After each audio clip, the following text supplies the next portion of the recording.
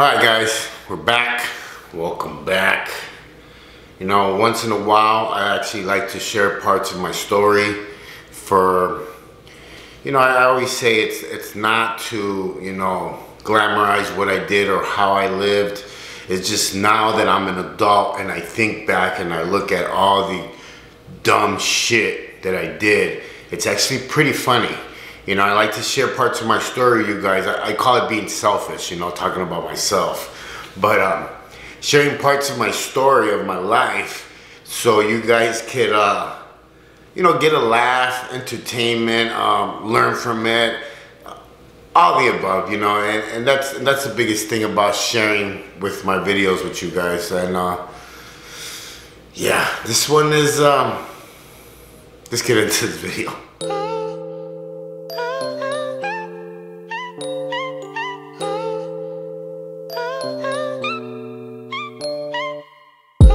Cartel got me working for the big faces. Federale got my car full of brick cases. Hit the pin with a grin, there ain't no faking. I was picked to my back for my shoelaces. Got out, should've seen the look on their faces. All jealous cause your boy stacking hella paper. Set up by the crew, they done put a banger in the trunk of my car and left me to hang there. No thing, then attorney went and beat the case. Got a job digging holes for minimum wage. Had a dream that Kato said he proud of me. Stay here, don't leave, keep doing your thing. Quit the drugs, but you know I went back to selling. Six time failing. I went back to prison, got my head right, uh. got my bread right. Push these weights like a kilo in a tailpipe. Trying to do right, I got a mission. Trying to give back to my boys in the prison. The old me's gone, I ain't never gonna miss them. From wrong to strong, stay true to the vision. From wrong to, to strong. From wrong to strong. From wrong to, to strong. From wrong to strong.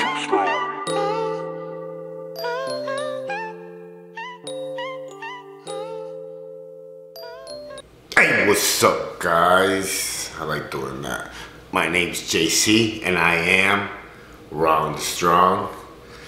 If you are new to my channel, my shenanigans, and all of the above crazy stuff that I talk about and say, subscribe. Hit the bell. Don't miss an episode. If you are part of my Wrong Strong family, what's up, raza? Súbase a la suburban.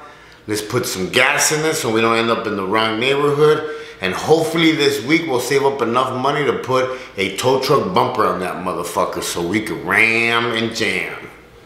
What's up, man? So today I'm gonna show, share a part of my story with you guys. Uh, as a kid, um, all my friends were already in the in the dope game way before me. You know, I started pretty young, but a lot of my other friends were in it already because they had older brothers that were in the game already. So, you know, uh, my boy uh, Drac, uh, he must have been 14 when I first met him, and he was already selling weed because uh, his older brother was, you know, in the game. You know, he he always they always had, you know, stuff, and they were always, you know, dealing and, and making money. So, you know, it, it, it was at that age where you know I wanted the nice gym shoes, I wanted the nice clothes, I wanted to get a car and everything um, that everybody else was rocking, you know. And uh,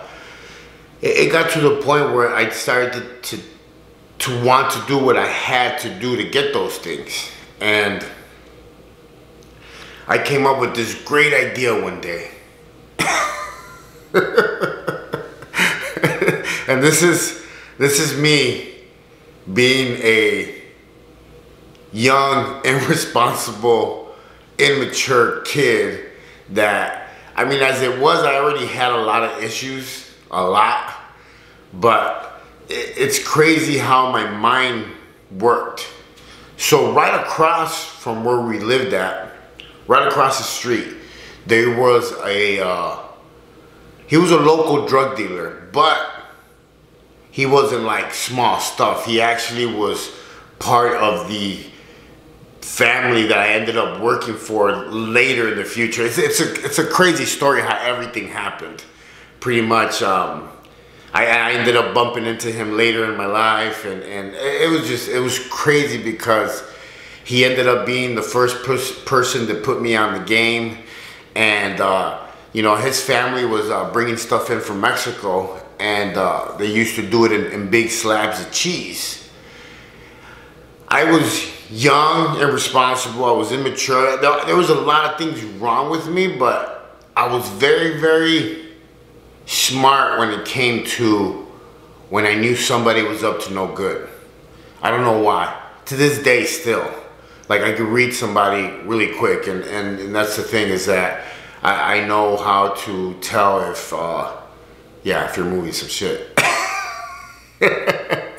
so, you know, I started um, actually hanging out over there a lot, you know, because he would uh, sit in front in his porch. In Chicago, a lot of the houses have porches in front. People sit in front on their, you know, cement stairs, and it's a very different it's like a neighborhood hangout. Like people hang out in front of their houses and stuff like that. And he would always be out there drinking and, and with uh, all his friends, you know, bracelets, gold chains, nice cars, nice cowboy boots, uh, the whole nine yards, you know. And so I used to go over there a lot. And I knew as a kid that, you know, I had this gift where like people would take a liking to me. I've talked about it before in my videos. People would take a liking to me. I know how to win people over. You know, a lot of my friends tell me I should have been a, a politician because when I was doing time in prison, uh, I would go out to the yards and, you know, the Florida boys, the Washington boys, everybody would come up to me and talk to me, shake my hand. And it, it was just how I carried myself. But I would go over there every day. You know, I would run to the store for him. I, I would do little errands here and there. No drug dealing stuff, but just little errands. And I knew you know, that they were bringing in big shit. Like, I knew it. I read it. I smelt it. I seen it. You know, and, and the thing is, is that in those neighborhoods, you don't, you don't see people with like $70,000 cars or when you go into their house, they're, it's crazy because you'll see houses in Chicago that from the outside look completely run down, but then you walk in and it has like marble floors and Italian uh, in the in the kitchen, and they're all completely redone, you know. So, you know, I would go into his house, see everything, see the jewelry, see everything. So I knew there was money there, you know. And I was young. I was young. I was, I want to say 13 and a half at the most. So I told my other friends that were a little bit older than me. Uh, I think uh, Phil was 16 and uh, I want to say Johnny was I want to say 17 because he's the one that had the car.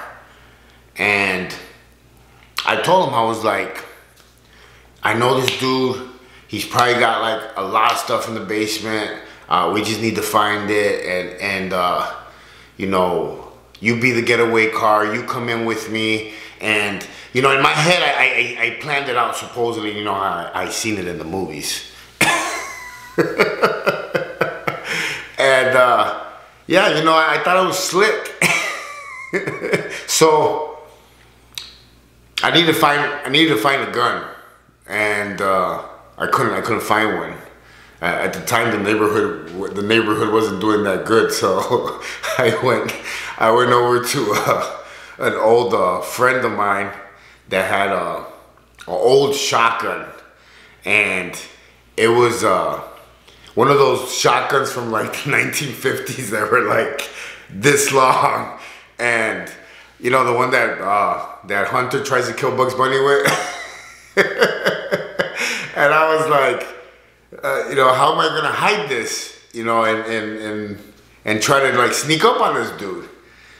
So uh, i told my buddy let's cut it. I, in one of the movies i seen the dude cutting it you know and and we'll cut it and the dude was like, no, you can't cut it. It's my grandma's shotgun, blah, blah, blah. And I was like, dude, after we do this job, we're gonna be rich. We'll buy her 10 shotguns. Don't worry about it.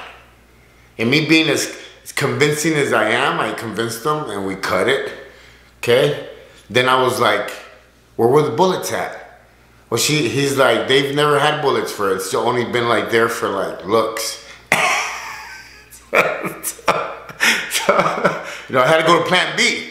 So I took it with no bullets. and thank God I did. You know, but we planned it out, right? we drive there. I was nervous. I've never done nothing like that before. so, you know, uh, and being so young, man, I was, like I said, I, I, think I was like 13 going on 14. I was, I was really young, small, little kid. We went to the, uh, to the store to get some uh, ski mask, and I don't know why in my head, you know, I rolled up my ski mask to make me like fit like a skull cap, like a hat. And I knock on the door, right? My buddy had the same thing on, like the same way. And my getaway's driver is waiting in front. He opens the door and he's like, hey, hey, Julio. He knew me by my name. And I was like, what's up? I was like, tienes mota? You know, can you give me some, some weed to smoke? Because he would always like give me like little stuff here and there. And he's like, yeah, come in, come in.